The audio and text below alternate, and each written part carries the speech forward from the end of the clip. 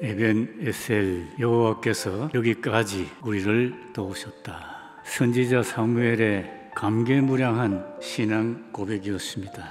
우리 모두의 신앙 고백이기도 합니다. 우리 학교가 오늘 여기에 이르기까지 말로 다 할 수 없는 여러 가지 어려운 일들이 많이 있었지만은 여호와께서 우리를 도우시고 인도하셨습니다.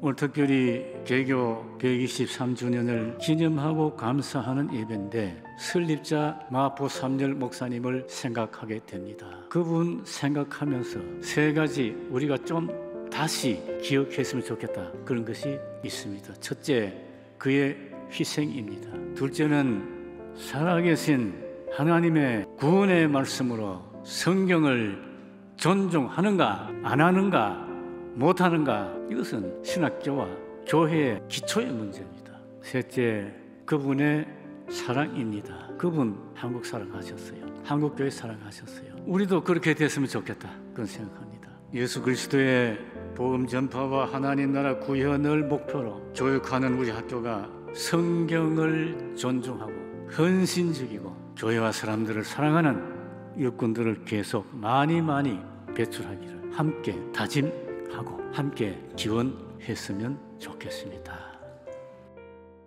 다시 복음으로 revive PUTS